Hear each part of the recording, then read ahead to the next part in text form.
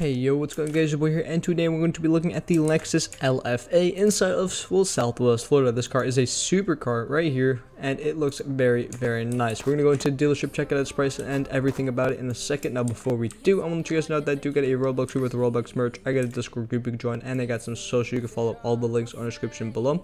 Also, my name is Hype. I do car reviews, car things, all the cool stuff. If you guys do like this video, hit that like button, subscribe, and hit that bell for notification every time I upload a new video. But yeah why don't we get into reviewing this car? So what we're going to do first of all is we're going to check out its price and after that we're going to go to its top speed its braking its turning and then we're going to come back to the dealership upgrade this car to the max and then we'll do all those tests one more time. So why don't we get into the dealership here where we will see the supercar section and then we will find no actually yeah the supercar section where we will find this car. Right here $690,500 so it's very very very expensive but is it very, very, very worth its price. That didn't sound right, but I mean, whatever, it is fine, right?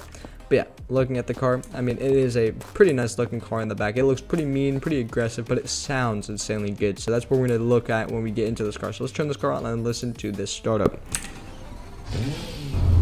Car has a quiet startup, but it's such a good startup in real life, and it should have done that in this game, but it's really quiet. When do we do a drive test? There we go. We got the nice sounding car now. blinkers, blinkers look like that right there, and blinkers look like the two dashes right here. And do we got any side blinkers? No, we don't. Let's turn the headlights on. Headlights are these circles right here, and then the line going across right there. But now that it started raining, we kind of have to do this review in the time that it doesn't take for it to rain. But also, this car is insanely quick. I didn't even need to get across the parking lot because we're now going a million miles an hour in about 4 seconds. Also, the wing comes up, which is pretty, pretty cool. We didn't even turn traction control off either, so we're going to turn traction control off, reverse the car into the invisible barrier, then we're going to send it all the way down to the end of the road, do the brake test, do the turn test, upgrade the car, and see if it does any better. So, back the car up right there, neutral lining, three, two, one, go! Off the line we're spinning because it's raining, but we're good, we're going to turn traction control back on because I don't want to die. Car is really loud when it comes to, well, driving, and it goes 200 in about maybe 4 seconds. So the car has the one of the fastest accelerations in the game. We're going 220 now, Braking starting now.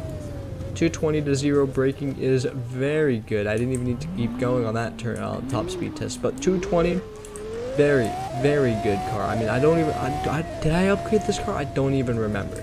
But this car, right now, stands at a very good 200 miles an hour acceleration. And it just overall sounds good, drives good so far. Let's do a turn test, though.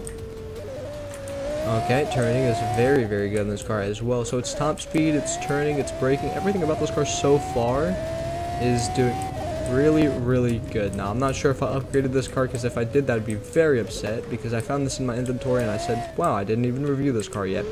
But let's see, let's go into the dealership, see if we can upgrade this car, or just unupgrade the car. Let's see here, customize. Let's check out its paints first, though. Red, blue, white, black, and yellow. Let's go here to performance where we hopefully didn't upgrade the car. We did upgrade the car. So this car, I did the test upgraded, but you can only imagine that it did as good not upgraded. Now, I probably should do the stock version of this car, but for the sake of this video, we'll actually just do it. Yeah, we'll just, I don't, I'm gonna have to spend so much money to get all the mods back, but it's whatever, it's for you guys. So, let's do the stock brakes. Let's do the way, all the way back to normal.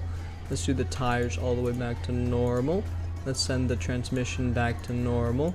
So the first test was the upgraded test because I'm bad and I forgot that I am not good and I forgot that this car had upgrades on it because I did that. What we did do now is we're going to test up this car without upgrades. So I'm pretty sure I took off all the upgrades on this car. Now we're going to see how this car does without it. So let's go all the way back down here to the end and see how it goes. So back up here. Then we'll go back up a little bit.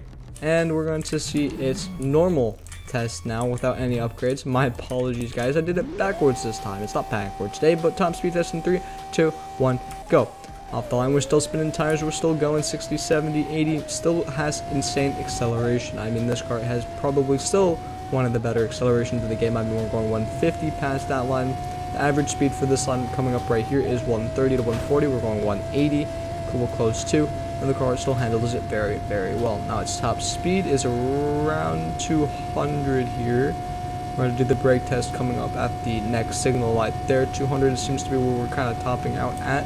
Upgrading the car gave me 20 more miles per hour, and it gave me a little bit better braking. Um, turning, let's go to do the turn test. I mean, I'm going to only imagine that the car turns the exact same as before, but instead of going all the way down to the end of the road where I typically do it, we're going to do a turn test starting over this way this time. I'm going to change things up a little bit. Go here. We'll do this turn right here. Back end does slide out just a little bit sometimes. It's fine though. I mean, it's really, really manageable. If I'm trying to keep it, you know, in a little bit of a race mode, this car is still very, very good. But now, um, what do you guys think about this car? I did the upgraded version of the test uh, car first because I'm not very smart and I forgot that I upgraded the car.